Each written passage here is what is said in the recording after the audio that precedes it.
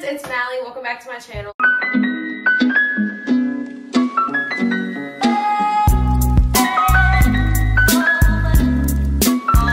So today I have a word for you guys that God gave me and I actually preached on this last Sunday at my church. But I wanted to come on here and just film a video and just tell you guys what I talked about on Sunday. So the word that God give that God gave me was this. I was flipping through my Bible and I was going to the chapter of Matthew, but as I was flipping there, God told me to stop in Ephesians. Now, personally, I have really been reading in Matthew right now and I have not been reading in Ephesians recently. So this was just like out of the blue, completely God. And he told me to read these two verses that I had highlighted over a year ago. And so I'm going to read you guys what the verses are. But the first thing is, as I was reading these verses to myself during my Bible time, I felt God tell me this. I can't cancel all confusion.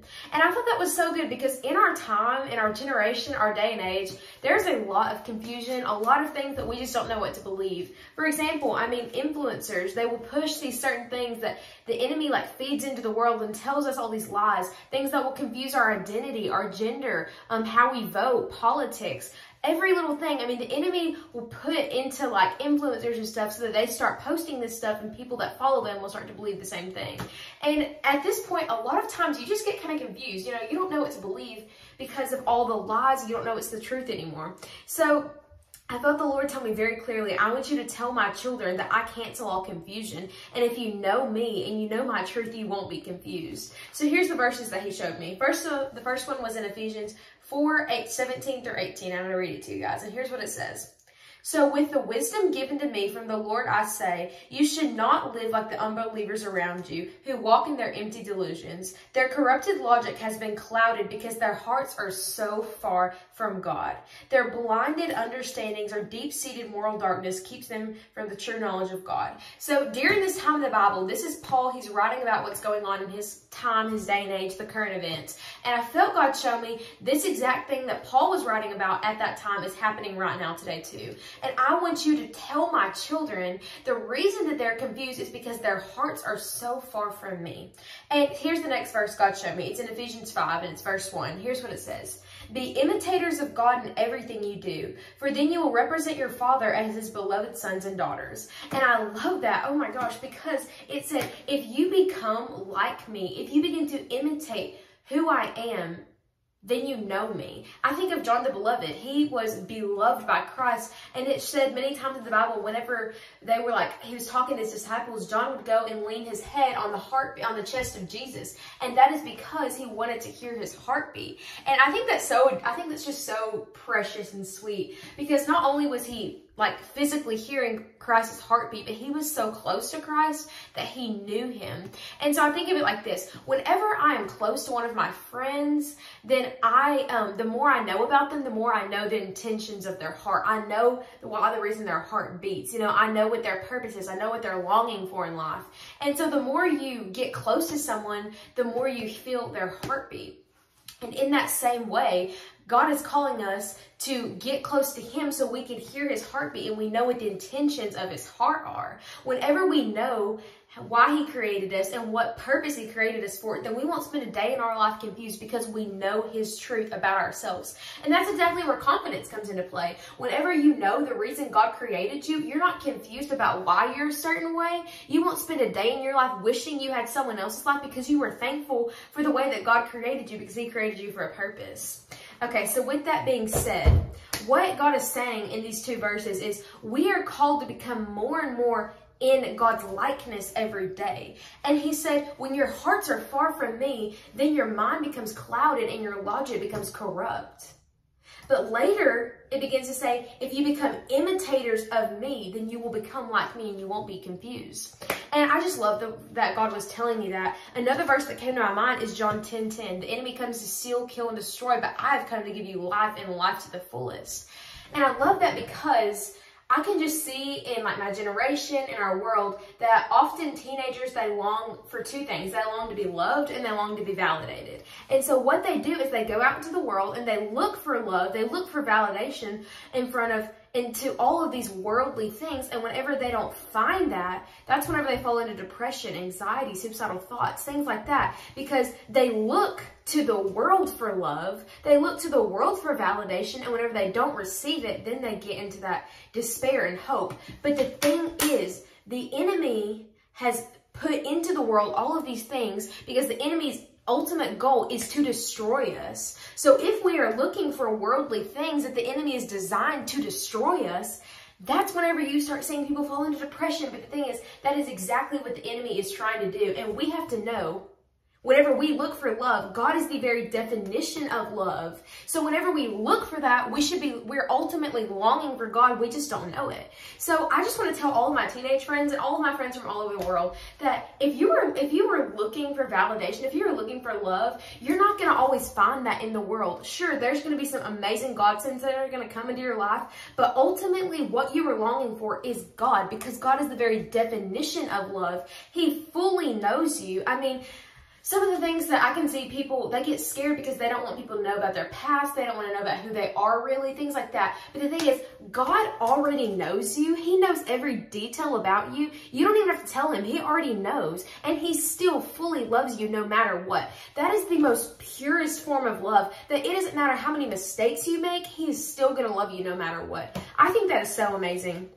So anyways, like I was saying, the teenagers and just people in general, they long for love and validation. And whenever they look to it in worldly things and they don't find it, that's whenever they fall into all those like depression and things like that. And that is exactly what the enemy wants to happen. But let me tell you this on the flip side, if we know the essence of who God is, we won't be depressed because God didn't call us to be that way. So um, actually, I have a Bible study that I do here in my hometown.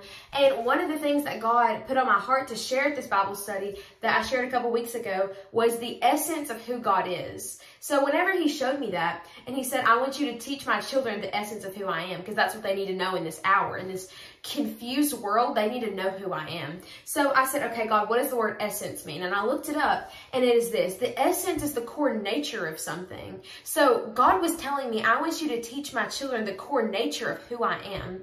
And so like I was saying, our generation, they're longing for something and they're longing for God. They just don't know it because He is their creator and He's the definition of love. So I began to ask God, God, what is your heartbeat for us? What is your heartbeat for your children? If you want me to teach them the essence of who you are, I want to know what your heartbeat is. And He told me this, my heartbeat is for my daughters. It's for my sons.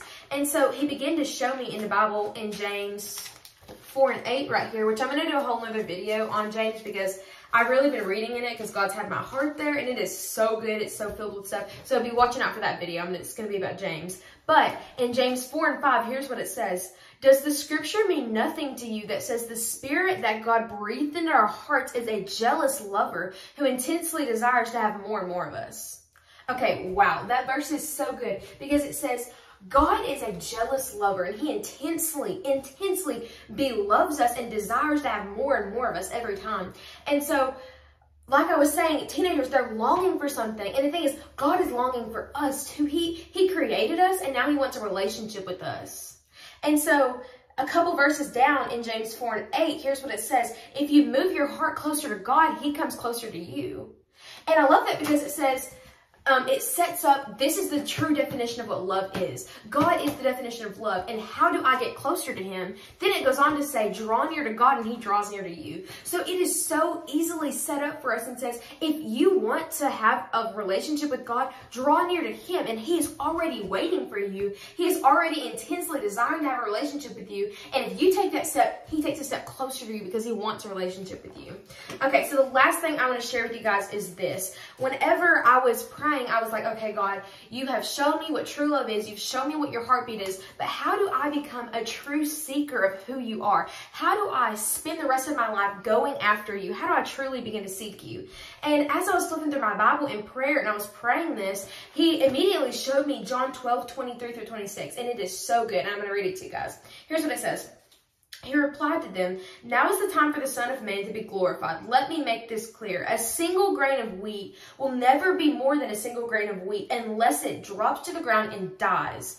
Because then it sprouts and produces a, a great harvest of wheat, all because one grain died. The person who loves his life and pampers himself will miss the true meaning of life. But the one who detaches his life from the world and abandons himself to me they will find the true life and enjoy it forever. If you want to be my disciple, follow me and you will go where I'm going. And if you truly follow me as my disciple, my Father will shower his favor upon your life. Okay, there's so much good stuff in that verse, and I'm just going to quickly break it down for you. First of all, I love that, like, how it showed us that a single seed of wheat is never going to be more than a seed of wheat unless it drops to the ground and dies. If it dies to its flesh, then it sprouted into something new. And in that same way, God is calling us to do that. He's calling us to die to our flesh every day, die to our worldly desires so that we can become more in his likeness. Because the thing is, God made us in his likeness. So we are to die to our worldly flesh, our worldly desires, the normalized things, what God is, what the world tells us we need to do. You know, sin has become normalized in our world. And the thing is, God is saying, I want you to die to that because that is not who I am.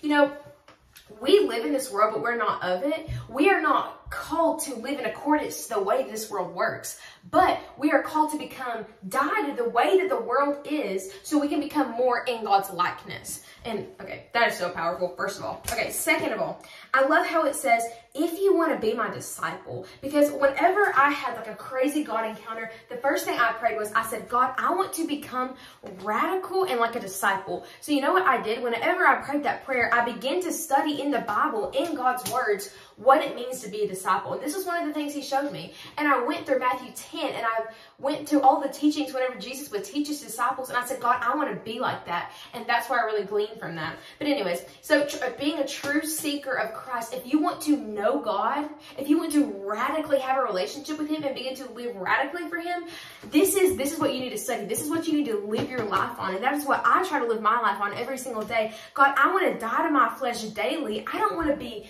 I'm from this world, but I'm not of it. I want to die to all of my worldly desires so that I can accept the call that you have on my life.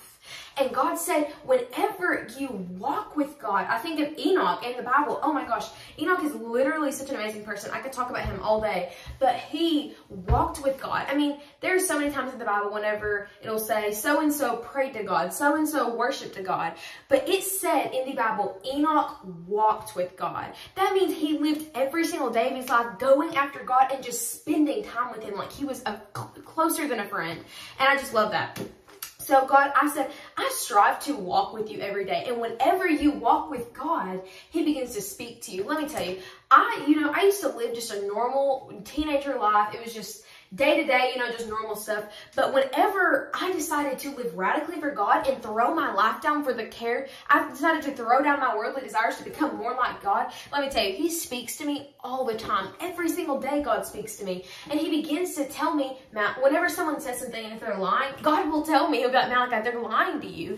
And then He just speaks to me all during the day. And let me tell you, if we do that, that is whenever God cancels out all confusion. He tells us what's real what's fake. If we walk with Him, if we become a true seeker of who He is.